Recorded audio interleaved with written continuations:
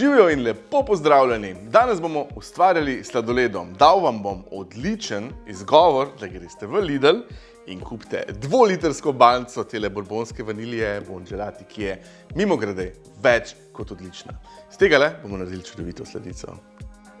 Naredili bomo sladoledno torto, bolj natančno Oreo sladoledno torto.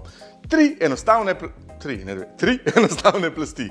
Čokoladni biskvit, vanilije v borbonski sladoled z Oreo piškoti in smetana z vanilijo.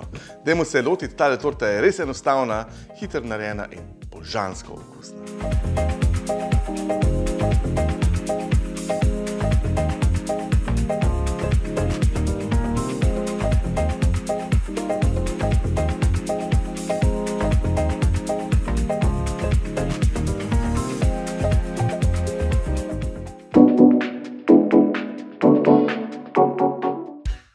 Začnemo tako, da vzamemo banco vaniljevega sladoleda in ga prestavimo v skledo. Potrebovali ga bomo približno liter. Nekoliko zmehčanemu sladoledu zdaj dodamo grobo nadrobljene oreo piškote. Dodamo jih pa kar skupaj s kremo.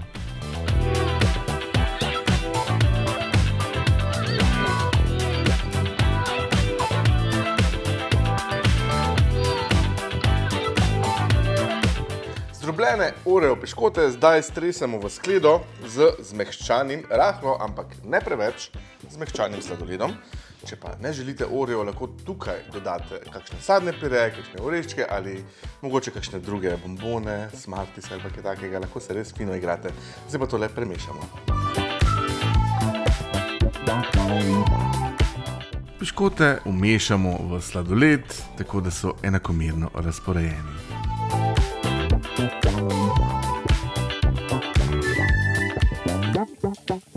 Zdaj pa vse skupaj prestavimo v pekač, premera 17 do 18 cm.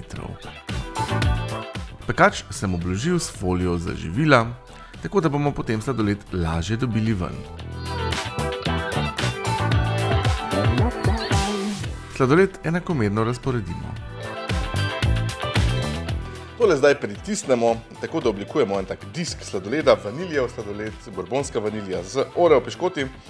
Zavijemo v živilsko folijo, prestavimo v zamrzovalnik in se vmes lotimo peke biskvita.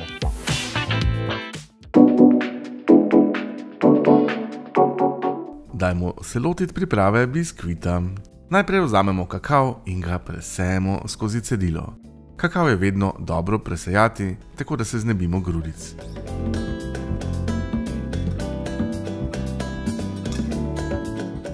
Prelijemo ga z vročo vodo in dobro premešamo.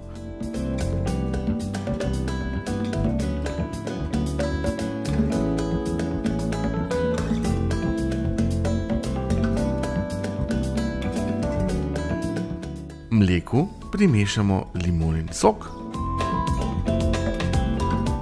Mogoče se sprašujete, zakaj sem limono dodal v mleko, vse to se jaz serija. Ne?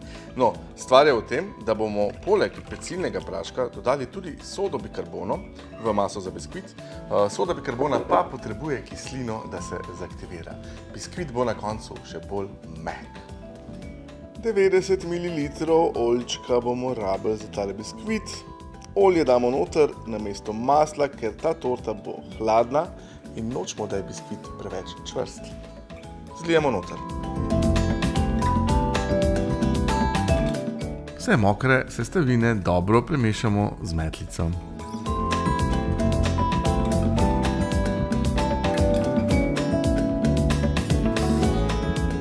Dodamo še eno celo jajce ter en rumenjak.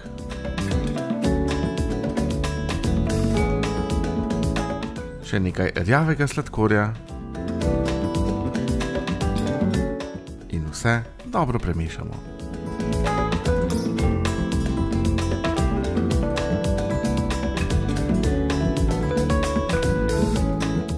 Pripravimo še suhe sestavine. V skledo stresemo moko, dodamo ji pecilni prašek ter sodo bikarbono.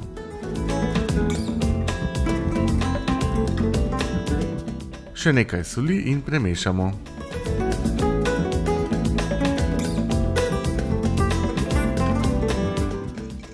Mokre sestavine zdaj postopoma umešamo k suhim in premešamo. Biskvit je zdaj narejen, tole prestavimo v pekač in spečemo.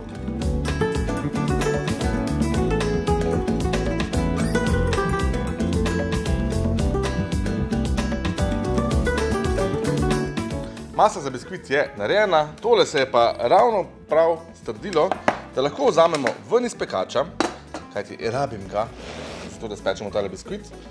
Tole pa preprosto prestavimo zdaj na krožnik in postavimo nazaj v zamrzovalnik. Pekač je 17 do 18 cm premera, zdaj ga bomo samo namastili in obložili s papirjem za peko. Pekač dobro namastimo in ga obložimo s papirjem za peko.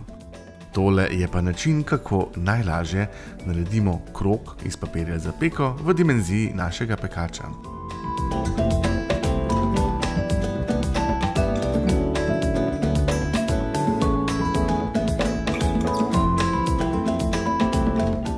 Sedaj maso za biskvit vlijemo v pekač in vse skupaj prestavimo v pečico. Tole gre zdaj v pečico, pekli bomo brez ventilacije pri 175 stopinjah, približno 40 do 45 minut. Preverite pečenost z zobotrebcem.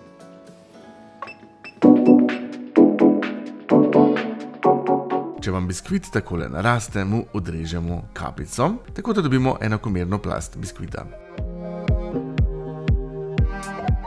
Zdaj pa odvijemo sladoledno plast, na njo položimo plast biskvita in vse skupaj prekucnemo na glavo.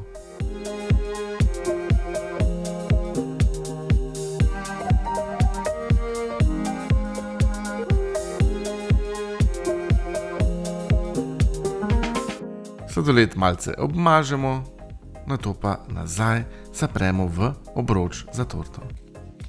Zdaj smo pa čisto pri koncu, samo smetano še stepemo s sladkorjem v prahu, noter bomo dodali še tole masleno vaniljo, ki je res enkratna in to premažemo po vrhu torte, potem pustimo, da zadeva zamrzne in postrežemo. Smetani dodamo nekaj sladkorja v prahu ter vanilje, uporabil sem masleno vaniljo. Smetano zdaj stepemo do čvrstih vrhov.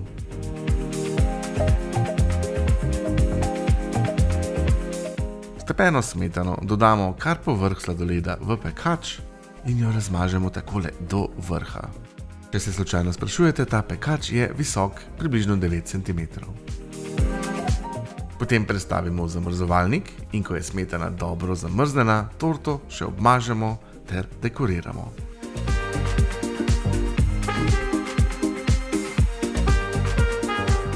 Povrh smetane sem dodal še pisane mrvice in oreo piškote.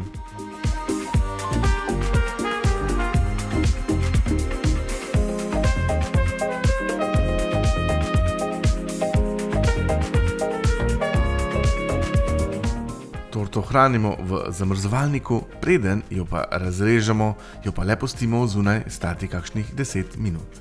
Dober tek vam želim.